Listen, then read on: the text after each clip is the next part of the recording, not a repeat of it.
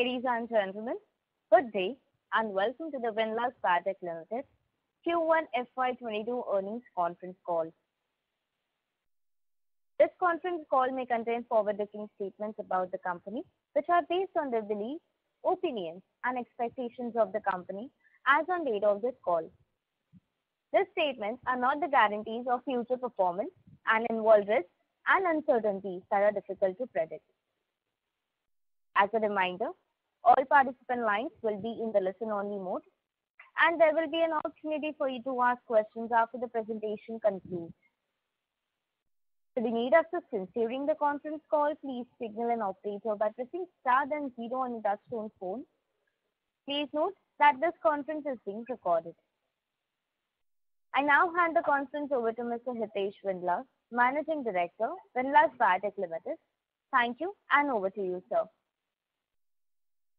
Good afternoon, everyone, and a very warm welcome to all of you present on our first post-results conference call to discuss the financial performance of quarter ended June 30th, 2021. We hope all of you and your loved ones are healthy and safe in the wake of ongoing pandemic, and the recent downward trajectory on COVID-19 cases is certainly a good sign, and we sincerely hope that the pandemic gets over really soon. I hope uh, everyone must have got an opportunity to go through our financial results and investor presentation, which has been uploaded on the stock exchange as well as on our company website. For the benefit of all the participants, I would like to discuss about the company in brief initially, followed by the financial highlights for the quarter, which will be shared by our CFO, uh, Ms. Komal Gupta. Windlas Biotech is among the top five players in the domestic pharmaceutical formulations, contract development, and manufacturing industry in India in terms of revenue. With over two decades of experience in manufacturing both solid and liquid pharmaceutical dosage forms and significant experience in providing specialized capabilities, including high potency, controlled substances, and low solubility products, the company provides a comprehensive range of CDMO services ranging from product discovery, development, licensing, commercial manufacturing of generic products, including complex generics, in compliance with the current good manufacturing practices and with focus on improved safety, efficacy, and cost. The company also has a growing trade generics business through 700+ stockists and distributors across India and is also present in exports to ROW markets. I will first take you through the company's CDMO business. This vertical is focused on providing products and services across diverse range of pharmaceutical and nutraceutical generic products. The company provides CDMO services and products ranging from discovery, development, licensing, commercial manufacturing, and complex products in compliance with GMP, and such products are sold to Indian and foreign pharma MNCs who market the products under their own brand names. The company has consistently maintained strong and long-lasting uh, relationships with the leading Indian pharma companies and has provided CDMO services to seven of the top 10 Indian formulation pharma companies. CDMO vertical contributed roughly around 85% to the consolidated revenue for FY 2021. The company's well-diversified product portfolio predominantly overlaps with the fast-growing chronic therapies and high-margin complex generics uh, products.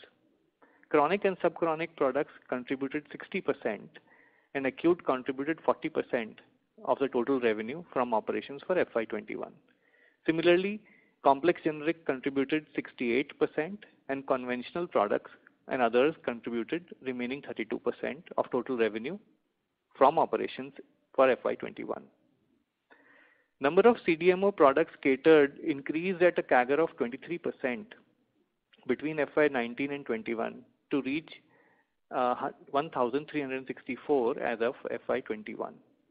The company's CDMO revenue grew at a robust 19% CAGR between the same period to reach 362 crores as of FY 2021, largely driven by the rapid pace of customer addition to reach 204 customers by the end of fiscal 2021.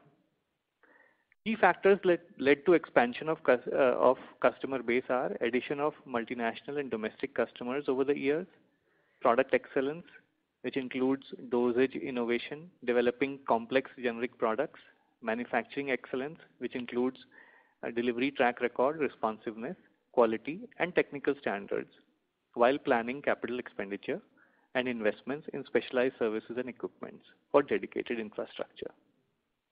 Our highest customers contribution reduced from 12.3% in FY 19 to about 11% in FY 21.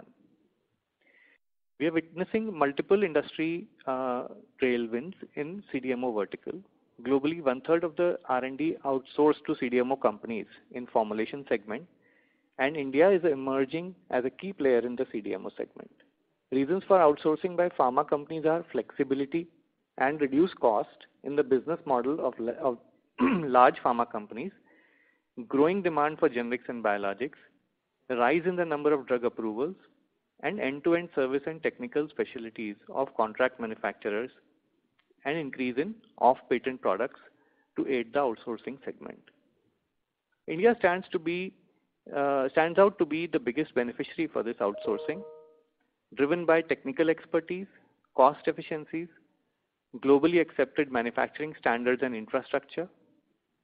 And within India, the consolidation in CDMO industry, driven by need for providing a better and wider portfolio of services, will further strengthen the company's position. The company is foraying into injectable dosages, which will complement the existing CDMO offerings in oral solids and liquids and will enable us to achieve higher margins.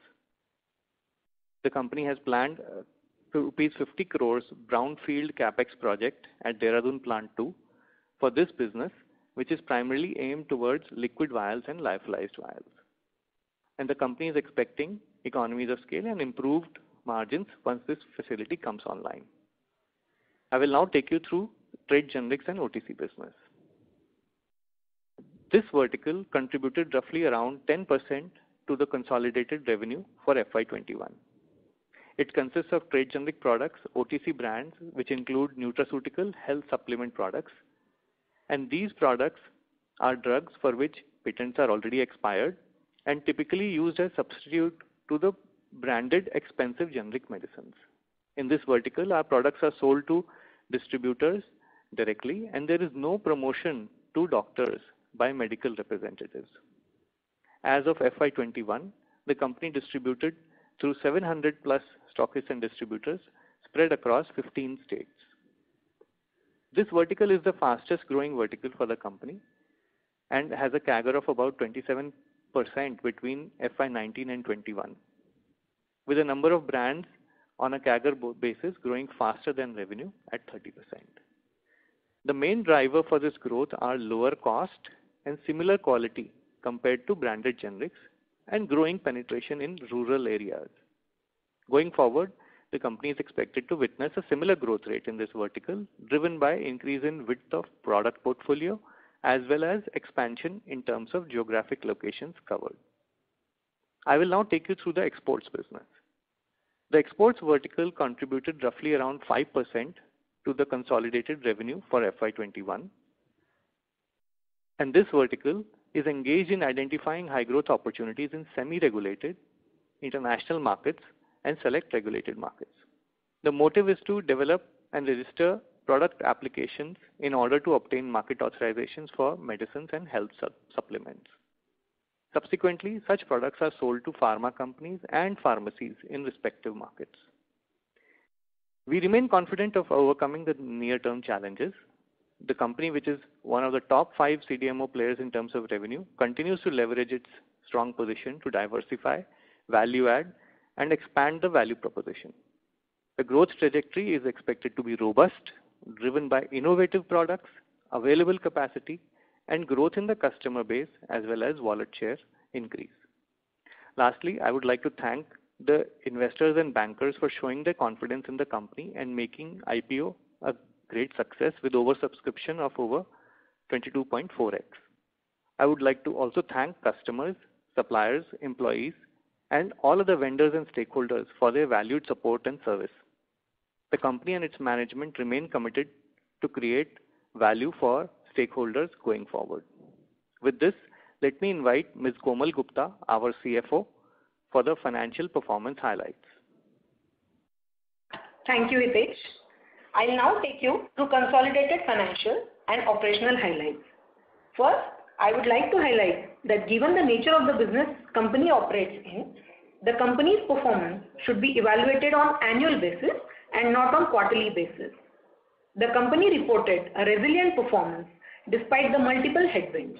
On a consolidated basis, revenue from operations stood at 111 crores as against 102.3 crores, a growth of 8.5% YOY.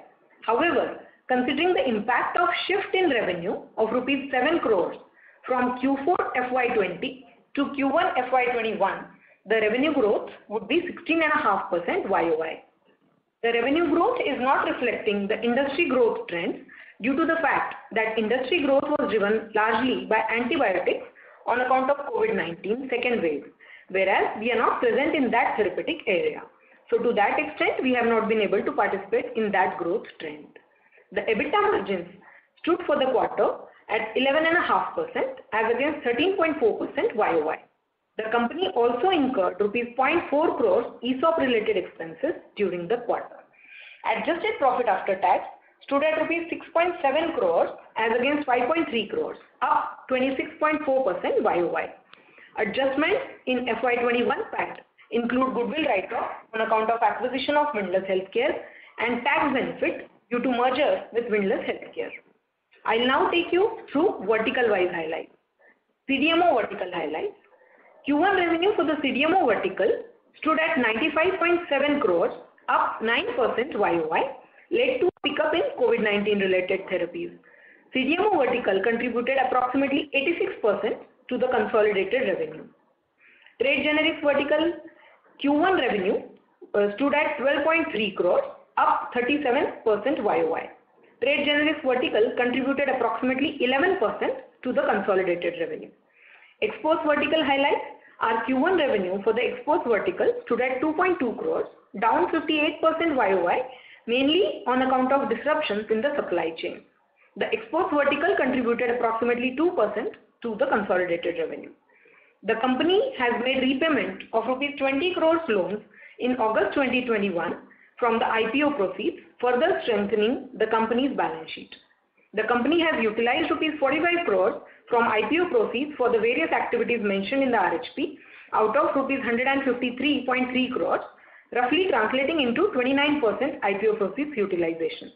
The company is planning to utilize the entire proceeds by December 2022, which will further strengthen the company's value proposition while maintaining the strong balance sheet. We can now begin the Q&A session. Thank you. Thank you very much. We will now begin the question and answer session. Anyone who wishes to ask a question may press star and one on the touchtone telephone. If you wish to remove yourself from the question queue, you may press star and two. Ladies and gentlemen, we will wait for a moment while the question queue assembles.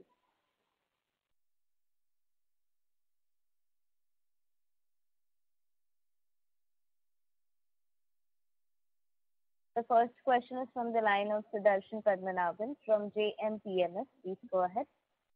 Yeah, thank you for taking my question. So my question is if I, you know, go through the presentation, it is, you know, elaborate and very extensive, and uh, congrats on that. Uh, the number of clients that we've added and the number of brands that we added has consistently been, you know, higher than the, you know, sales growth.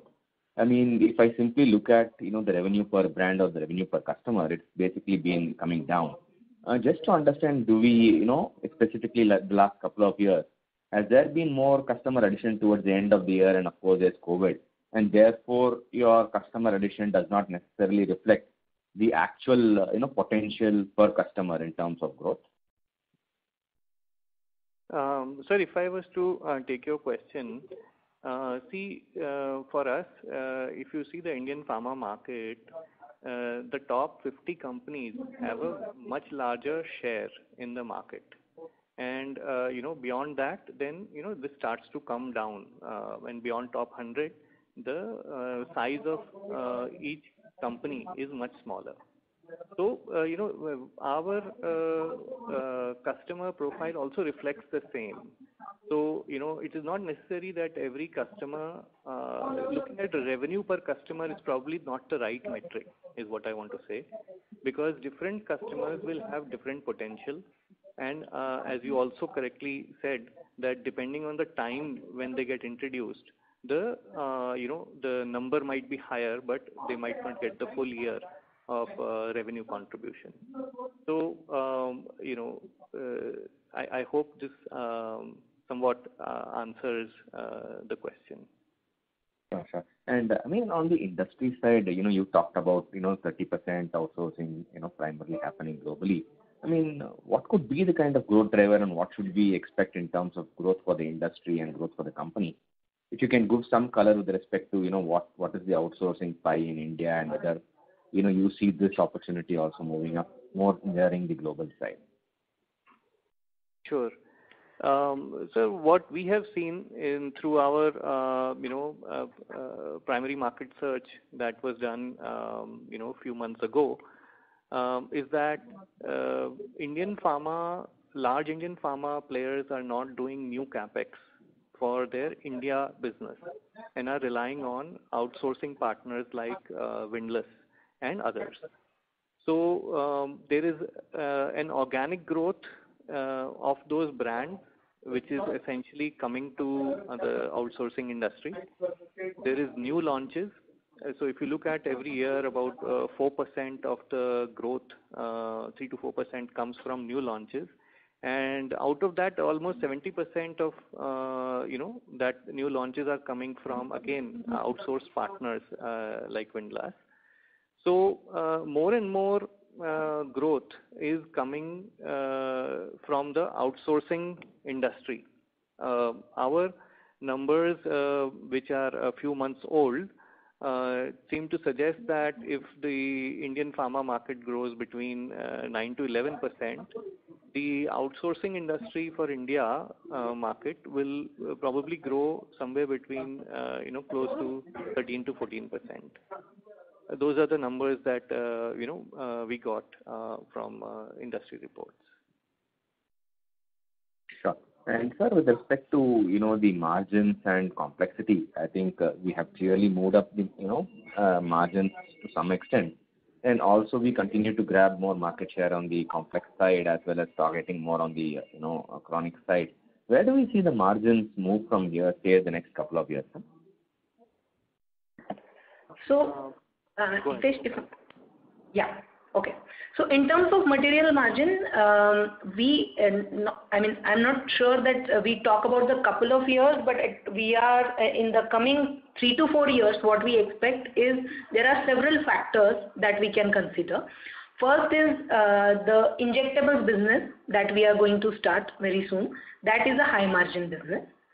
Second is our trade generics and exports division that we have, has higher margin than our CDMO business. And because these are low base uh, businesses, we expect them to grow at a higher pace and to contribute more in the overall uh, revenue, which means that some material margin would be coming from there.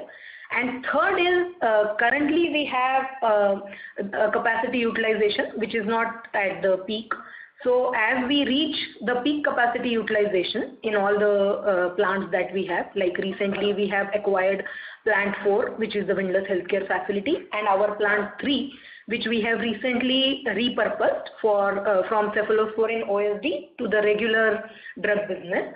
So as we increase the capacity utilization in these plants, uh, the operational efficiencies will kick in.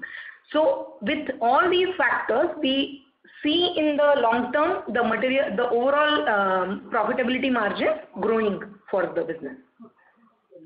So what is the current utilization, ma'am? The current utilization is in the uh, range of about 36%. Thanks a lot. I'll join back. Thank you. Thank you. A reminder to the participants, to ask a question, please press star and one.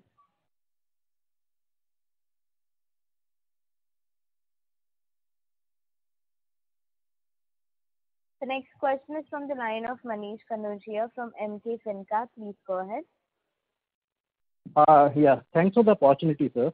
I have two, three questions. Uh, Firstly, uh, in the investor presentation, you have mentioned about you know uh R&D outsourcing and domestic uh, CDMO opportunities in detail. Can you please share uh, at what CAGR we expect to grow our you know CDMO business in the next three to five years? And also what kind of market share we are expecting we'll have in the next three to five years? Sure.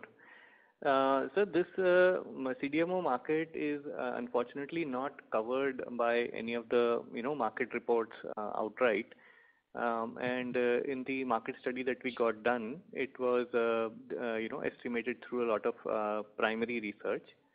Um, the expectation is that market will, which is the total outsourcing market is about 20,000 crores in India today. And this is both CDMO as well as CMO, and is expected to roughly double in five years um, to about 40,000 uh, crores. Uh, in terms of uh, you know our long-term view, we will uh we are obviously uh you know one of the leading players, um, and we expect to grow slightly faster than market. So our uh, goal is uh, to uh, you know, definitely target a better growth profile than the overall market growth. Um and in the long run, this is where I think we should, we we are you know, expecting ourselves to be as well. Understood. And so secondly, is the company planning to increase the share of chronic and sub-chronic therapy? And if yes, how the share of these therapies would look like in the longer term? Sure. So currently, as you see, almost 60% of our business is in the chronic and sub-chronic therapeutic areas. Um and uh you know uh you know there is uh in these areas, we are focused more on diabetes, cardiovascular, neuropsychiatry, gastrointestinal, uh, these kind of um, disease uh, therapeutic uh, segments. And we are looking to you know, a lot of our pipeline products or new product development is focused on these therapeutic areas only. And, you know, whether doing value-added generics in this space or bringing new fixed-dose combinations for products which are coming off patent uh, in these uh in this uh, domain, those are the ones that we are also bringing on, and uh, therefore targeting uh you know more momentum in this chronic and sub-chronic space. Understood. Sir, lastly, is it possible to share margins and return ratios separately for our segments like CDMO, trade generics, and exports? Actually, um as these are so we have the same plants. The four plants can actually serve all the three businesses, CDMO, exports, as well as uh you know trade generics. So that's why it is, uh, we only uh, look at the material margin business-wise, but Other than that, we don't really uh, see, because it's actually more of a fixed cost allocation for all the um, businesses instead of really business-wide tracking. So it doesn't really make that much sense, so to say. But in terms of margins, can you uh uh I mean can you throw some light on ballpark figures? So the uh, trade generics have uh, about you know 5%-7% higher uh, margin than the regular CDMO business, the material margin. And the exports is even 4%-5% higher than trade generics. Oh, understood. Okay, thank you. That's it from my side. Thank you. Thank you. The next question is from the line of Akshay Jain from Jain Capital. Please go ahead. Thank you. Uh, good afternoon. I have a couple of questions. Uh, firstly, uh, how much growth in revenue share is expected from generate business, and how are the inquiries and conversions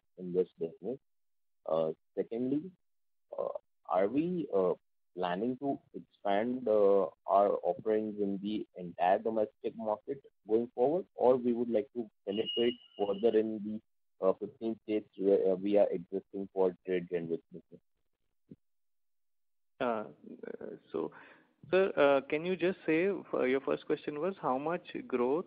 How much growth and uh, uh, revenue share is expected from uh, generic business, and how are the inquiries and conversions happening in that business? Sure. Um so this is in this business, basically, what what is happening is that we are targeting the B and C class towns in India. As you know, you know, there are only 400 odd Uh, towns where the population is more than 1 lakh, and uh, enough doctors are there. So the branded generic model works out uh, with the medical reps in those places. But there are 6.5 lakh villages and kasbas, very deep interiors, where even physicians are not there and uh you know there is access issue regarding drugs. So in these areas, the drugs are sold directly through the uh, uh, distribution channel. So the stockist and then the retailer. And this is where trade generics uh, vertical of ours is also existing. So in this vertical, we have been building strength in the sort of northern states so far. Now we are looking to expand more and you know, it's a nucleation and growth model. So we start somewhere and then start expanding around that uh, territory and going deeper and deeper uh, into the hinterland of that uh, area. We have seen, you know, I mean, in terms of opportunity, it is there, vast opportunity is there, and we are trying to follow the population density and the market needs from the state's perspective. So that's how we have been you know, expanding in this vertical. Um, most of the time, um, the expansion is twofold. One is uh, geographic, um, as you picked up, but the second is also uh, around product portfolio. So because we are working directly with the stockists who are just above the retailer, uh, we are trying to see you know, what else can the stockist sell. What is the credit profile of that you know, stockist and retailer. And uh, that's how we are you know, building our product portfolio and launching more uh, products uh, to to go along. Um, I hope I answered your question you know, in terms of how the growth and market share is developed. And your second part question was, sir? The second question pertains to the uh, expansion of our offerings into entire domestic market going forward, or we would uh, restrict uh, itself to the 15 states where we are currently present in generic business. Yeah. Um, so, sir, currently we are looking to strengthen the states that we have opened, and we believe that there is a lot more uh you know uh uh you know sort of opportunity to grow within these. Uh, it is uh, as we get uh you know good talent and local expertise, then only we would want to open more states and get into those. So that is how we are building the business. Okay. Great. Thank you so much. Uh, that's all from me. Thank you. Thank you. The next question is from the line of Anupam Agarwal from Lucky Investment. Please go ahead. Yeah. Hi, good afternoon, and thank you for the opportunity. Uh, sir, in your opening remarks, you mentioned about a 50 crore CapEx for the injectable plant. Uh, can you give us the economics for the plant as to by when it will be operational and uh, at peak level of utilization, what can be the sales from that plant? Sure, sir. The we injectable facility, you know, after the construction, requires a period of media fill and validation, and uh, the you know uh the time taken is slightly longer than typical oral solids. Uh, hmm. We are expecting if everything goes smoothly and no disruptions uh, due to any uh you know unanticipated things, that our first commercial batch should roll out in Feb of 2023 from this facility. The hmm. um, and in this space, the asset turns are much lower. So, um, in oral solids, we have an asset turn of about uh, 4.5, but in this space, the asset turn is more around 1.2-1.3, but the margins are much better. So uh that is why uh you know the peak uh, utilization on a 50 crore CapEx would be somewhere around 1.2 times that, so 70 crore. Understood. Understood. And this will be coming in by uh, FY 2024, all of it, mainly. Will we be able to ramp up the facility in the first year itself? No. There will be a uh, you know, you know gradual ramp, but obviously our efforts will be to see how much capacity we can tie early on as much as possible. We have the time. But uh, yes, I mean, uh we but there would still be you know, sort of a phase-wise ramp-up that will happen. Right. Uh, have you identified products in the space, in the injectable space for the plant? Yes. Mm. Have you gotten orders from uh, large pharma players? No. No, no. So we I mean uh as I mentioned, the plant installation itself and uh, qualification will take some time. So Feb of 2023 is when we are looking to do the first commercialization. It will uh you know, it will cater to all three of our divisions, so exports, trade generics, and CDMO. And uh, so, you know, we are looking to Uh, take uh, advantage of uh, this facility, just like all other facilities, and build business on all three verticals um, through this. Understood. On the trade generics business, if you could, sir, give us how much is the domestic trade generic market on an overall level, and how much would be the top three, four players taking the market share? So, uh, sir, it's very, again, not uh, covered. Uh, this kind of trade generics market is not very well covered by either AIOCD data or the um you know IMS data, IQVIA data. At the just general industry estimates is that this is somewhere in the range of 25,000 crore-30,000 crores. Um, crore. Please take it with a pinch of salt. And um, the largest player is, uh, of course, uh, Cipla um, and Alkem, and uh, then we have Leeford, which is almost 1,500 crores, Laborate. So these are some of the more prominent names which have built a significant business. Understood. Sir, lastly, from the IPO proceeds, I missed your part. Sorry. From the 150 crores that we raised, how much has been uh, deployed for debt repayment, and how much are we looking to do for the rest of the money? So we have about 45 crores is what we have utilized um, hmm. till now. 20 crores was for the uh, debt repayment, and 25 crores is for the uh you know general corporate uh, purposes that we have utilized by now. About 29% we have utilized. Uh, for the balance money, we intend to go for the brownfield, and uh, what is the rest of the rest of the purpose? So, there is about uh, 40 more, so more 48 kind of a crore amount which will be used for increase in working capital.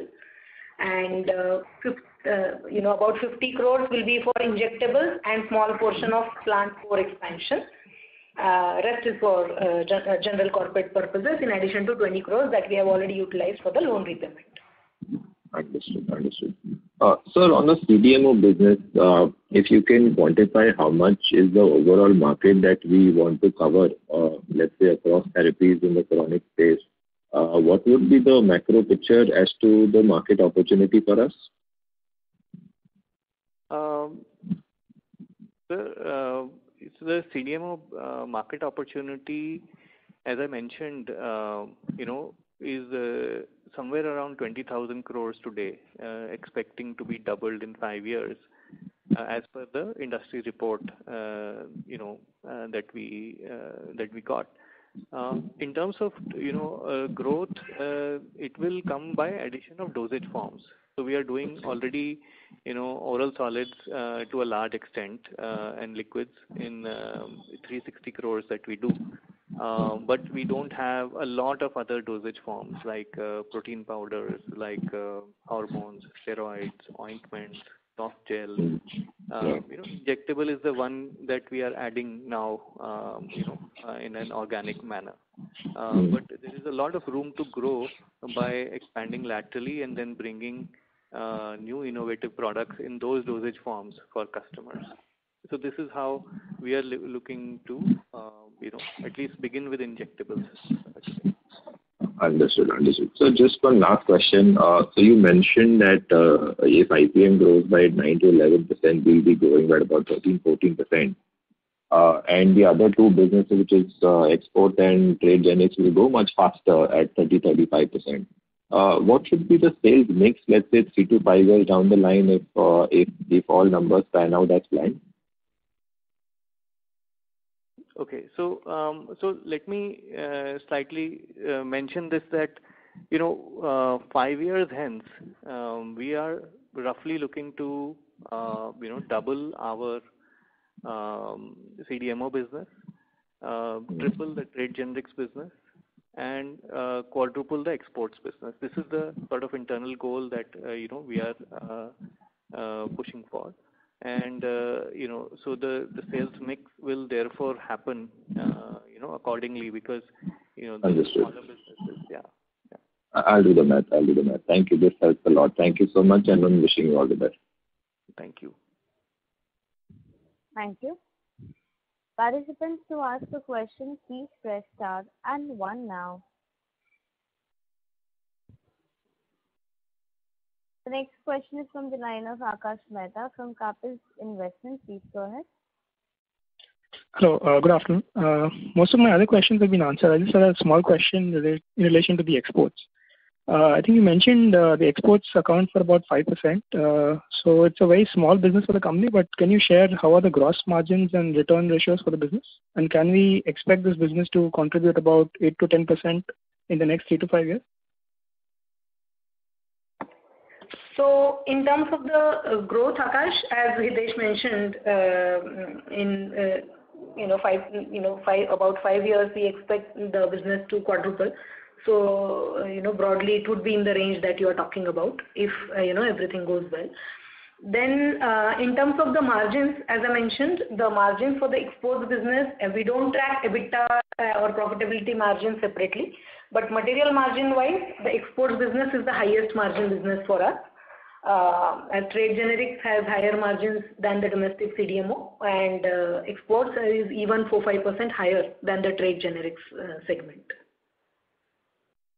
Okay. So it can get to those 8%-10% levels in the next three to five years?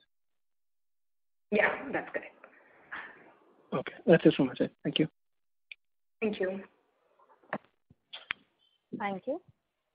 The next question is from the line of Aditi Sawant from ADM Advisors. Please go ahead. Yeah, hi. Thank you so much for the opportunity. Uh, I have only one question. As the company is zero net debt company, are we planning to share the profits with the shareholders?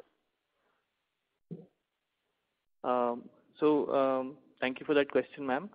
We are, uh, you know, looking to have a dividend policy, and, uh, you know, in fact, uh, at this meeting, we had a proposal, and our board asked us to get some benchmarking data for our sized company in terms of, you know, the range. And, we are looking forward to, in our uh, next quarter, uh, you know, by when we come for the earnings call for next quarter, to have, uh, you know, a policy in place with some guidance on that. Okay. Okay. We'll wait for that, that information. Thank you. Thank you. Before we take the next question, a reminder to the participants, to ask a question, please press star and one. The next question is from the line of Asad, an individual investor. Please go ahead. Uh, hi, sir. Good afternoon. Uh, my question is, uh, the employee cost has gone up. Is it likely to come down very soon? So the employee cost increase is caused by several factors. Like um, the plant 3 that uh, was not operational earlier has uh, become operational. So fixed costs uh, that way for that plant has increased. There is 4 million of ESOP reserve for the employee stock option scheme that we have declared last year. So 4 million is impact of that, and about 2 million is the director salary proportion, 3% of profit and things like this. So, how it will pan out is, cost-wise, there might not be reduction. Where the profitability will grow will be from operational efficiencies kicking in as we increase the capacity utilization and the revenue numbers grow. Okay, ma'am. That would answer my question. I had one more question. Uh, how much cost will we be saving uh, by repayment of the loan, the 20 crore what we have repaid? Okay. On 20 crore, we had uh, about 8% of uh, was the 8% per annum was the uh, interest cost, which we will be saving. But the loan was taken in March of FY 2021. Like to like YoY numbers, you won't see a reduction coming in. It's just the additional cost that would have come in the books, that won't come anymore. Okay, ma'am. Ma'am, my last question is, uh, as we know that the margin in the exports are more, uh, are they going to increase? We already work at a very um, high margin. Uh, we are not in the um, regulated markets like U.S. or Europe. We work in the ROW market. In that range, we already are working at a very good uh, material margin uh, percentages. So we expect to you know continue to work in that kind of a margin area. Okay, ma'am. Thank you, ma'am. That's it from me. Thank you. Thank you. Participants, to ask a question, please press star and one.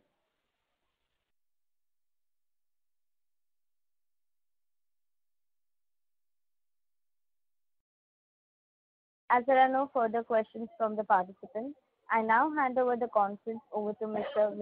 Hitesh Windlass for closing comments.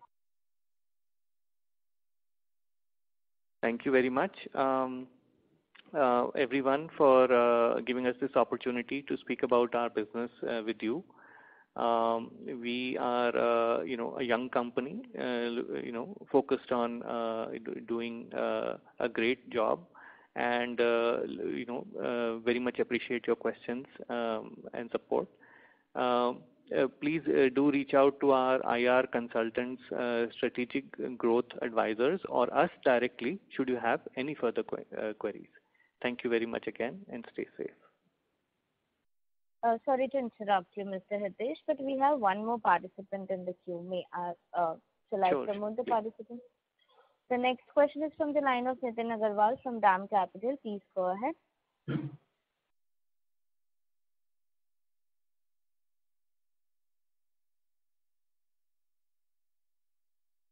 Nitin Agarwal, please go ahead with your question. Your line is unmuted.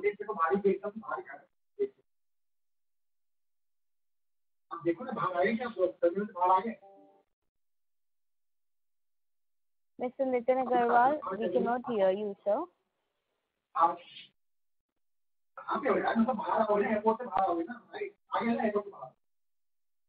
As there is no response from the participant, I have will move. Thank you so much. On behalf of Windlas Biotech Limited, that concludes this conference. Thank you for joining us, and you may now disconnect your line.